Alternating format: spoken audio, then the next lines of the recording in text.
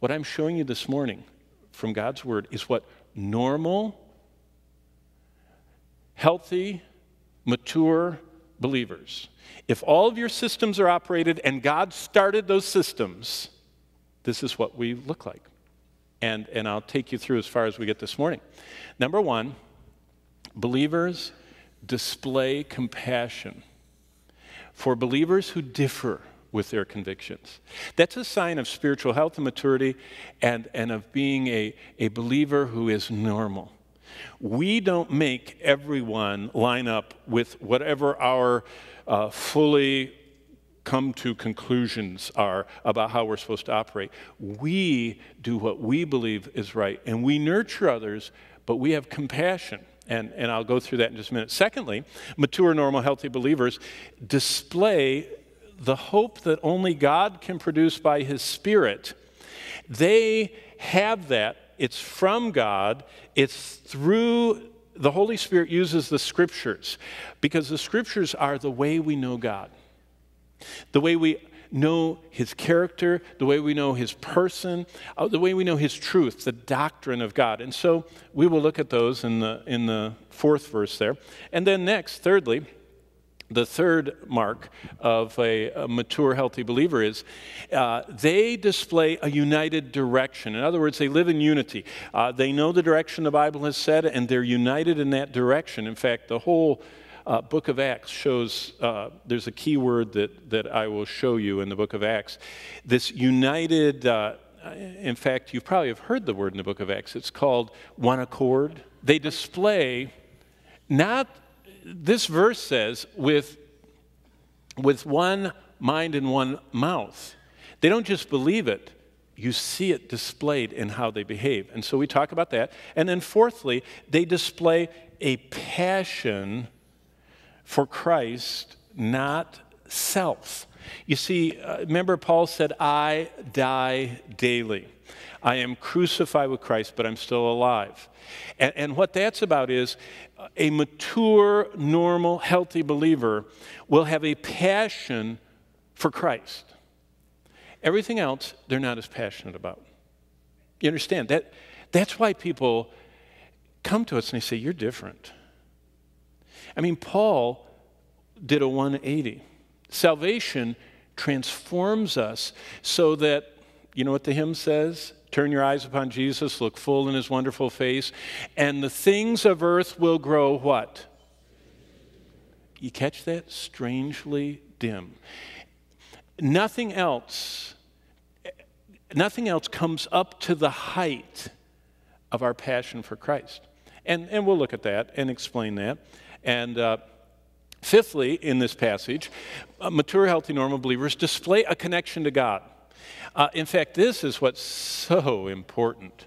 I mean, if, if you went down on Stadium or whichever way on Stadium to, you know, we have a lot of car dealerships all along here.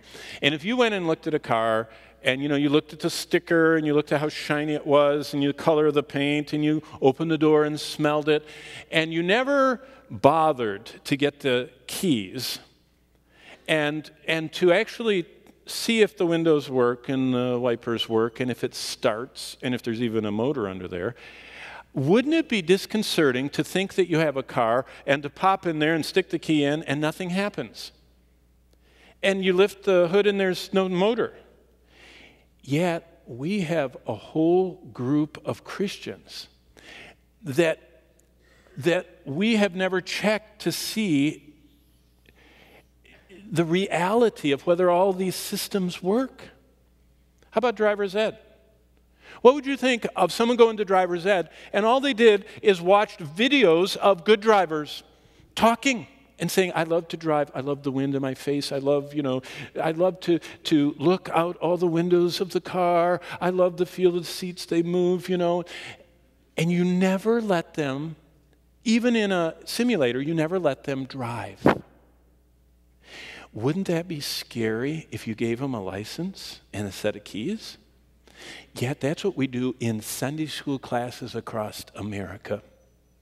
As long as they'll listen to the lecture, we figure they know how to drive. Christ didn't think that was sufficient. He only lectured the crowds. The individuals, he pulled them aside and asked them all kinds of questions and interacted with them to make sure they displayed a genuine connection to God as the source of hope through the Spirit. And we'll, we'll see that in verse 13. Sixthly, and this is, this is so neat healthy believers are filled with the Holy Spirit. And when you're full of the Holy Spirit, He produces the fruit of goodness that fills their lives. Did you know you can know this morning if you're truly born again? Because if you're truly born again, God is doing something.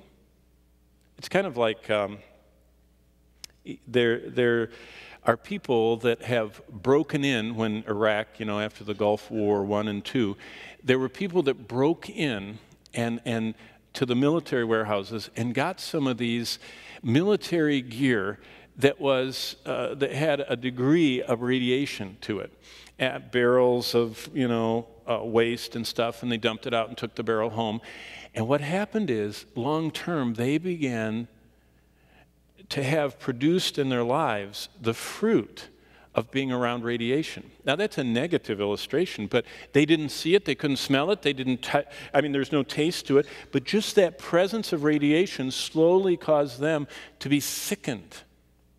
Did you know, in a positive sense, you can't have the very spirit of the infinite God move into your life without Him producing a byproduct?